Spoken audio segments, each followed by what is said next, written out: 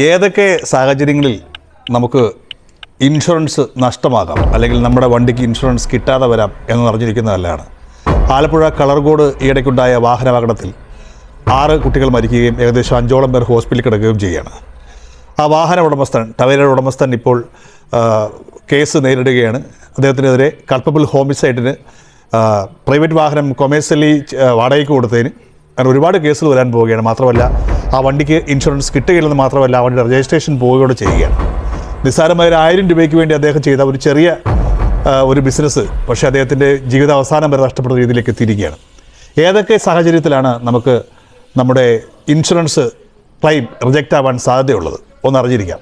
സുപ്രധാനമായും അപകടമുണ്ടായി നാൽപ്പത്തെട്ട് മണിക്കൂറിനുള്ളിൽ അല്ലെങ്കിൽ ഏഴ് ദിവസത്തിനുള്ളിൽ ഇൻഷുറൻസ് കമ്പനിയെ നിങ്ങളുടെ അപകടത്തെക്കുറിച്ച് ഇന്റിമേറ്റ് ചെയ്തില്ലെങ്കിൽ തീർച്ചയായിട്ടും നിങ്ങളുടെ ക്ലെയിം റിജക്റ്റ് ആവാൻ സാധ്യതയുണ്ട്.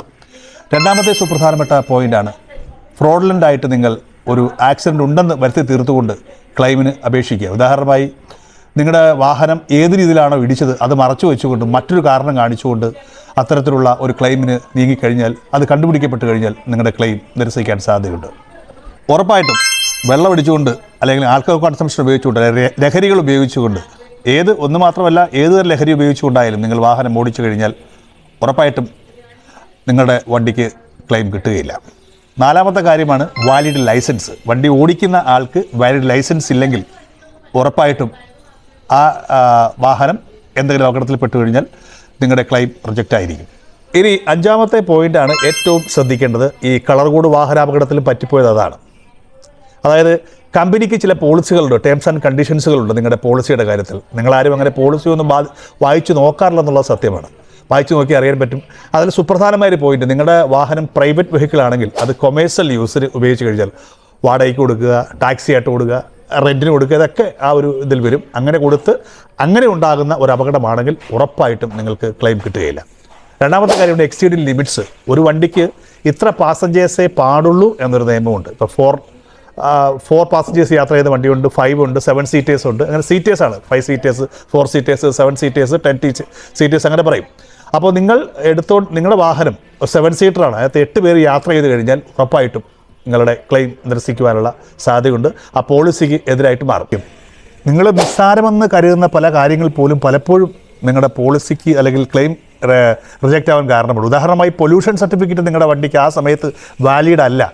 അല്ലെങ്കിൽ നിങ്ങളുടെ വണ്ടിയുടെ ടയറിന്റെ കണ്ടീഷൻ വളരെ മോശമായിരുന്നു. മൊട്ടയായിരുന്നു ടയർ. പൊല്യൂഷൻ സർട്ടിഫിക്കറ്റ് ഇല്ല ഇത് മോശമായിരുന്നു. ഇങ്ങനെയൊക്കെ വന്നു കഴിഞ്ഞാലും ഉറപ്പായിട്ടും ഈവൻ വണ്ടിയുടെ ഫിറ്റ്നസ്സിന് എന്തെങ്കിലും പ്രശ്നമുണ്ടെന്ന് തോന്നിയാൽ പോലും നിങ്ങളുടെ ക്ലെയിം റിജക്റ്റ് ആവാൻ സാധ്യതയുണ്ട്. ഒപ്പം തന്നെ ശ്രദ്ധിക്കുക കൊമേഴ്സ്യൽ ആവശ്യങ്ങൾക്ക് ഒരിക്കലും നിങ്ങളുടെ വാഹനം ഉപയോഗിക്കാൻ പാടില്ല എന്നുകൂടി ഓർത്തിരിക്കുക. നാച്ചുറലി നമ്മുടെ പോളിസിയുടെ സമയം കഴിഞ്ഞു. എക്സ്പയറി ആയി കഴിഞ്ഞിട്ട് പിന്നീട് ക്ലെയിമിനായിട്ട് നീങ്ങിക്കഴിഞ്ഞാൽ ഒരിക്കലും നിങ്ങൾക്കത് കിട്ടില്ല. എല്ലാ വർഷങ്ങളിലും ആ ഒരു പർട്ടിക്കുലർ സമയം തുടങ്ങി. ആ തീരുന്നതിന്റെ തലേ ദിവസം വരെ ആയിരിക്കാം സമയം കിട്ടുക. ആ സമയത്തിനുള്ളിൽ നിങ്ങളത് റിന്യൂ ചെയ്തില്ലെങ്കിൽ എക്സ്പയറി ആയി കഴിഞ്ഞിട്ട് പിന്നീട് പോയി കഴിഞ്ഞാലും ഒരിക്കലും കിട്ടുകയില്ല എന്ന് പ്രത്യേകം ഓർത്തിരിക്കും ഒപ്പം തന്നെ ചില കമ്പനികൾക്ക് ആ പോളിസിക്കകത്ത് ചില എക്സ്ക്ലോഷൻസിൽ പറഞ്ഞിട്ടുണ്ട്. ഇന്ന ഇന്ന കാര്യങ്ങൾക്ക് കമ്പനി തരില്ല എന്ന് ചില കാര്യങ്ങൾ പറഞ്ഞിട്ടുണ്ട്. അത് വായിച്ചു നോക്കണം. അത്തരം കാര്യങ്ങളിലാണ് അപകടം ഉണ്ടാകുന്നതെങ്കിൽ ഉറപ്പായിട്ടും നിങ്ങളുടെ വണ്ടിക്ക് ഈ പറഞ്ഞതുപോലെ തന്നെ ആന്റി നാഷണൽ കാര്യങ്ങൾക്ക് ഉപയോഗിക്കുക മോഷണത്തിന് ഉപയോഗിക്കുക അത്തരത്തിലുള്ള കൊലപാതകങ്ങൾ കൊണ്ടുപോയി ഇത്തരം കാര്യങ്ങൾക്ക് ഉണ്ടാകുന്ന അപകടങ്ങൾക്കൊക്കെ ഒരിക്കലും കമ്പനി ഉത്തരവാദിത്തം വഹിക്കില്ല നിങ്ങൾക്ക് പോളിസിക്ക് ക്ലെയിം കിട്ടുകയുമില്ല. ഇനി മറ്റൊരു പോയിന്റാണ് ഈ മോഡിഫിക്കേഷൻ നമ്മുടെ വണ്ടിയൊക്കെ എടുത്തിട്ട് ചിലപ്പോൾ നമ്മുടെ ഇഷ്ടത്തിന് പെയിന്റൊക്കെ മാറ്റി അടിച്ച് അല്ലെങ്കിൽ നമുക്ക് ഇഷ്ടമുള്ള കാര്യങ്ങളൊക്കെ ചെയ്തു വെക്കും. ഇത്തരം വാഹനങ്ങൾക്ക് ഒരു അപകടം ഉണ്ടായി കഴിയുമ്പോൾ ഇൻഷുറർ അല്ലെ കമ്പനി മനസ് ഇൻഷുറൻസ് കമ്പനി മനസ്സിലാക്കുക നിങ്ങൾ വണ്ടി മോഡിഫിക്കേഷൻ നടത്തിയിട്ടുണ്ട് എന്ന് തോന്നി കഴിഞ്ഞാൽ ഉറപ്പായിട്ടും നിങ്ങൾക്ക് ക്ലെയിം കിട്ടുകയില്ല. കാരണം നിയമങ്ങളൊക്കെ പലയിടങ്ങളിൽ ഒരുപാട് മാറിപ്പോയിട്ടുണ്ട്. അടുത്ത കാര്യമാണ് നമ്മളിപ്പോൾ പണ്ടൊക്കെ എന്ന് വെച്ചാൽ നമ്മൾ വാഹനം വിൽക്കുമ്പോൾ തന്നെ മറ്റൊരാളുടെ പേരിലേക്ക് മാറ്റുവാനായിട്ടുള്ള ചില പ്രോസസ്സൊക്കെ ഉണ്ട്. ഇപ്പോൾ form twenty nine form thirty എന്നൊക്കെ പറയും. ഇപ്പോൾ നിങ്ങളുടെ വാഹനം മറ്റൊരാൾക്ക് കൈമാറി. നിങ്ങളുടെ അയാൾ ഓണർഷിപ്പ് ആ പ്രോസസ്സ് നടന്നുകൊണ്ടിരിക്കുന്ന സമയത്താണ് ഒരു അപകടം ഉണ്ടായെങ്കിൽ. ഇൻഷുറൻസ് പോളിസി നിങ്ങൾ ഓൾറെഡി എടുത്തു കഴിഞ്ഞു. പക്ഷേ വണ്ടിയുടെ ബുക്കും പേപ്പറും ഇപ്പോൾ ഇരിക്കുന്നത് പഴയ ആളുടെ പേരിലാണെങ്കിലും ആ ഒരു കോൺട്രഡിക്ഷൻസ് ഓണർ ഒരാൾ ഇൻഷുറൻസ് മറ്റൊരാളുടെ പേരിലായി കഴിഞ്ഞാലും ഉറപ്പായിട്ടും കമ്പനി നിങ്ങളുടെ ഈ പറഞ്ഞ പോളിസി ക്ലെയിം റിജക്റ്റ് ചെയ്യും. റിട്ടേൺ ലോസ് എന്നൊരു പോയിന്റ് ഉണ്ട്. അതായത് നിങ്ങളുടെ ഒരു അപകടം ഉണ്ടായി. ആ സ്ഥലത്ത് നിന്ന് നിങ്ങളുടെ വാഹനം എടുത്തുകൊണ്ട് പോയി. മറ്റൊരു വർക്ക്ഷോപ്പിലേക്ക് കൊണ്ടുപോകുന്ന വഴിക്ക് ചിലപ്പോൾ നിങ്ങളുടെ വണ്ടിയുടെ നാല് ടയറുകളും മോഷ്ടിക്കപ്പെട്ടു. കാണാതായിരിക്കുന്നു. ഇത്തരം ഘട്ടങ്ങളിൽ അതിനൊരിക്കലും നിങ്ങൾക്ക് ഇൻഷുറൻസ് കിട്ടില്ല. കാരണം ആ സമയത്ത് ഇൻഷുറൻസ് നോക്കി കഴിഞ്ഞപ്പോൾ ഇതൊക്കെ ഉണ്ടായിരുന്നു. പിന്നീട് അത് കാണാതായി എന്ന് കണ്ടു കഴിഞ്ഞാലും ഒരിക്കലും നിങ്ങൾക്ക് ഇൻഷുറൻസ് ക്ലെയിമിനായിട്ട് നീങ്ങാൻ പറ്റുകയില്ല എന്ന് ഓർത്തിരിക്കുക.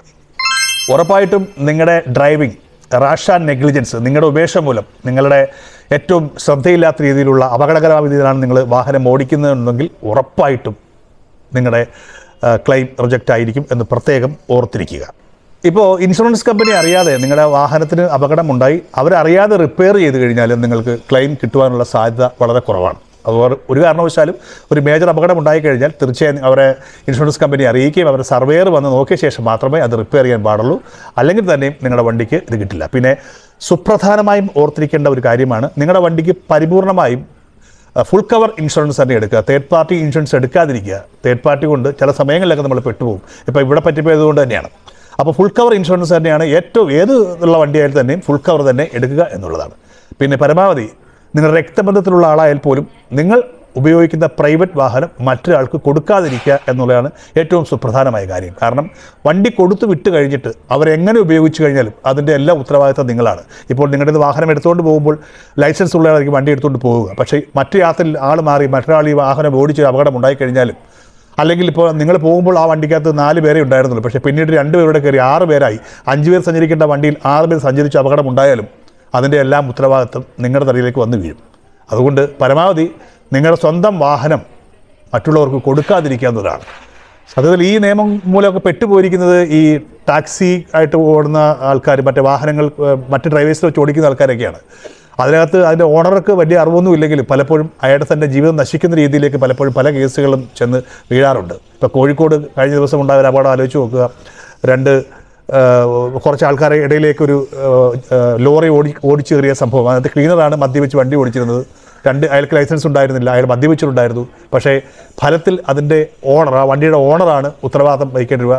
അവർക്ക് ക്ലെയിം കിട്ടുകയില്ല. ആ കാശ് മുഴുവൻ ഈ വാഹനമൊക്കെ വിറ്റു കൊടുക്കേണ്ട അവസ്ഥയിലേക്ക് എത്തും. പരമാവധി ഡ്രൈവ് ചെയ്യുന്നവർ ആ വാഹനം തന്നവരോടുള്ള ആ ഒരു സ്നേഹം പ്രകടിപ്പിക്കുക മറ്റുള്ളവരുടെ വാഹനമാണ് ഞാൻ ഉപയോഗിക്കുന്ന ചിന്തയുണ്ടാക്കി വെച്ചേക്കുക ജീവിതം നശിപ്പിക്കുവാൻ ഒരു സെക്കൻഡ് മതി.